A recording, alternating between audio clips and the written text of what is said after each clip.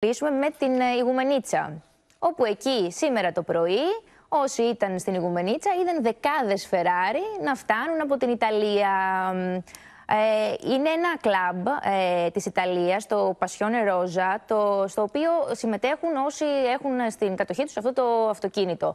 Ε, ήρθαν λοιπόν στην Ελλάδα, επισκέφθηκαν την Ελλάδα, ε, θα μείνουν από τις 20 μέχρι και τις 23 Οκτωβρίου στη χώρα μας, ε, θα πάνε στη Δυτική Θεσσαλία και εκεί θα επισκεφτούν το Μουζάκι, τη Λίμνη Πλαστήρα και την Καρδίτσα και όσοι πολίτες θέλουν και είναι λάτρεις των σπόρων αυτοκινήτων μπορούν Ναι. να δουν από κοντά την ε, Δηλαδή, Ferrari. πες μου ξανά ποιος είναι ο αριθμός αυτών των αυτοκινήτων που θα αρχίσουν να κυκλοφορούν στους ελληνικούς δρόμους. Δεν έχει γίνει ακριβώς. γιατί βλέπω πολλά γι' αυτό. Μιλάμε γιατί για δεκάδες ξαφνικά όμως αυτοκίνητα. Θα μην ξέρεις, θα κοιτάει ο κόσμος και θα σου λέει τι έγινε εδώ. Πασιόνε ρόζα, δηλαδή ναι.